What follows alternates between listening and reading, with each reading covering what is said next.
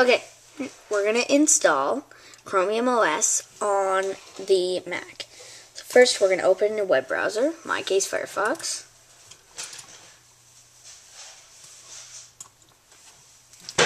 You're going to download VMware.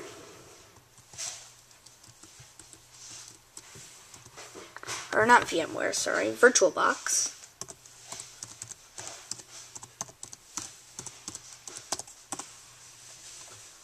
Not for virtualbox.com. So we're going to go in Google and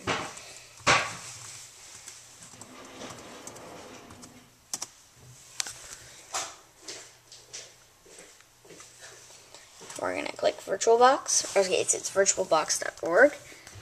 And you're going to click Downloads. And you're going to click Intel Macs and download VirtualBox. Alright, now that's download, you're going to go to your downloads and install VirtualBox. So go to your downloads, find VirtualBox there, and install it.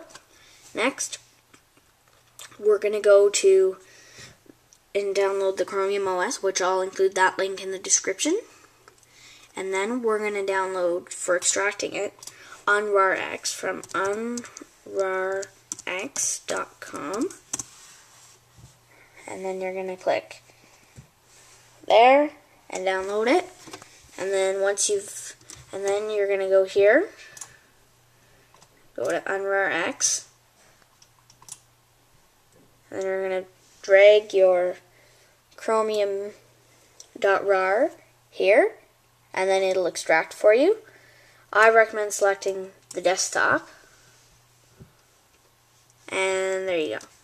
So, and next, you're going to open VirtualBox from the Applications folder.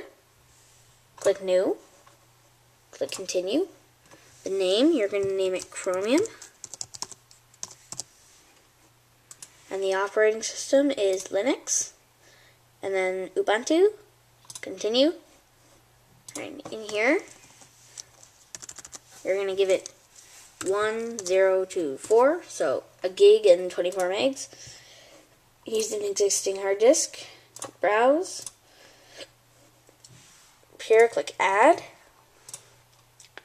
and then I saved mine on the desktop, so you're going to go desktop, Chromium build VMDK, select it, continue, done, and then start your virtual machine.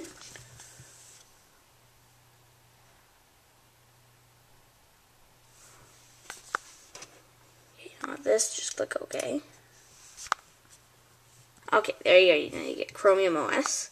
Log in with your Gmail account. If you don't have a Gmail account, I'll show you how to create one after. I'll log in mine.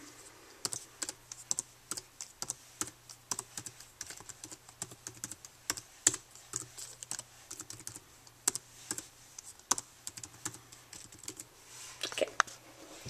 So then you hit enter, and it will log in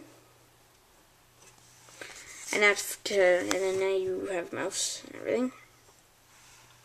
Alright, so it'll defaultly bring up your Gmail account.